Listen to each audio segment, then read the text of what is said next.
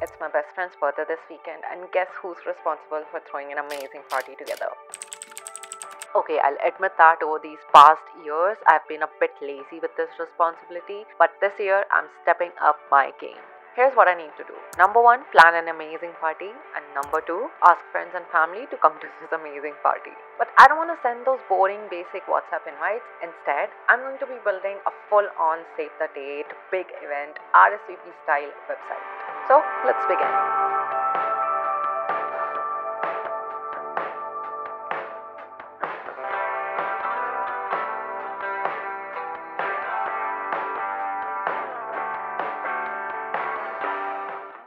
So I was scrolling through Pinterest for some design inspiration, looking at different event websites as well as party posters when I came across gold. So I saw this website, webdesignmuseum.org, that has a list of how different websites used to look like in the early 1990s and mid 2000s. And check this out. So here's how McDonald's website used to look like in 1996. I love how simple and fun it is. This is how the Simpsons website used to look like in 1996. This also looks so much fun.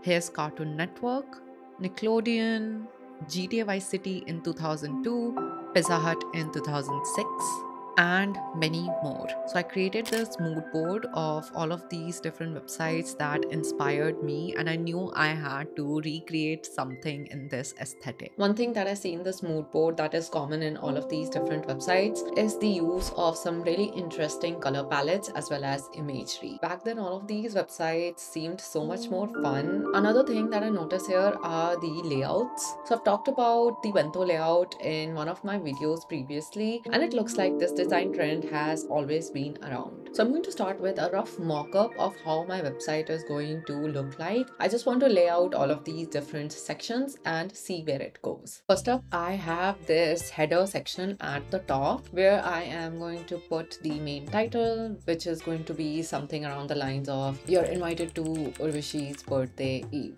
Below that, I've basically just added a bento layout. For the party, I bought a bunch of these Party Smart capsules that basically relieves you from all of those unpleasant side effects of a party. I got some biodegradable spoons and forks because I don't think I have enough cutlery.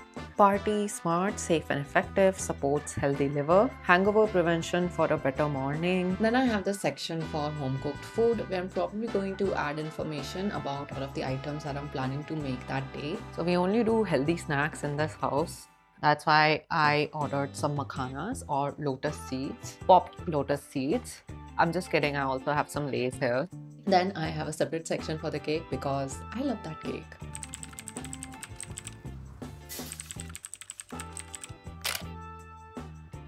Then we have some important information about the time and the date of the party. I browsed through Pinterest for some fun drinking games and I shortlisted a few that were easier to play.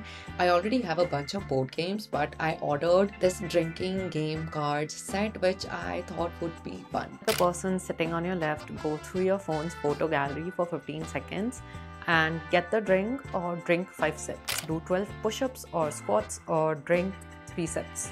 Okay, this one is interesting.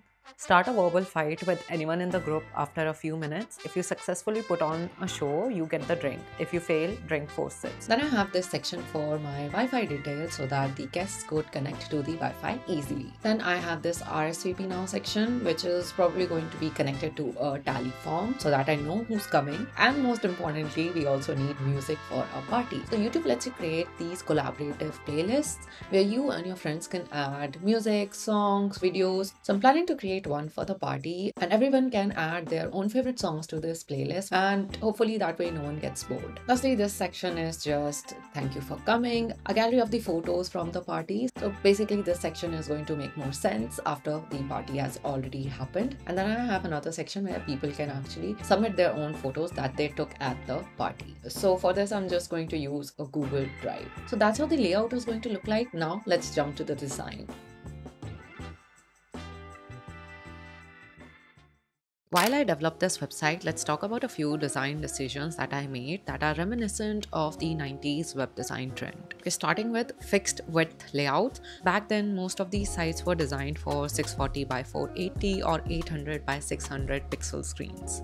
Nowadays, we have larger screens, but I just want to replicate the feel of a smaller screen. Bright and clashing colors are also an important characteristic, so I'm going to go all out with the colors here, especially for the background. In the 90s, backgrounds were often tiled with repeating patterns. So here I'm going to use this SVG pattern that I found on this website called heropatterns.com. Let's talk about the fonts next. Back then, we had limited options for the fonts, so you can think of Papyrus and Comic Sans everywhere. But at the same time, you could also see multiple font styles combined together with different styles and colors. So I found some cool title fonts on Google which I'm going to use and for the paragraph text I'm going to go ahead with this pixelated font or you know what maybe I should use Comic Sans.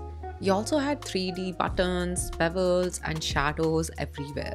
Pages used to be overly crowded, so I'm not afraid of adding too much text or too many images. Also, we had an excessive use of pop ups and scroll bars everywhere, and links used to look like this simple underlined text. We also had marquees, which is now a deprecated tag, and blinking text that just begs for your attention. There was also a frequent use of GIFs and clip art. In the 2000s, we entered the Adobe Flash era. A lot of websites were also influenced by Apple's design that led to shiny, glossy, reflective buttons. You could also see websites that made use of JavaScript for design enhancements. For example, the mouse following effect or cursor trails. So what do you guys think? Would you use it for your next big party? Because you totally can. I've made the code public on GitHub. All you need to do is fork, change the necessary text and the links, and just use Vercel for deploying it. It's super simple. All you need to do is create an account, link your repository, and hit deploy.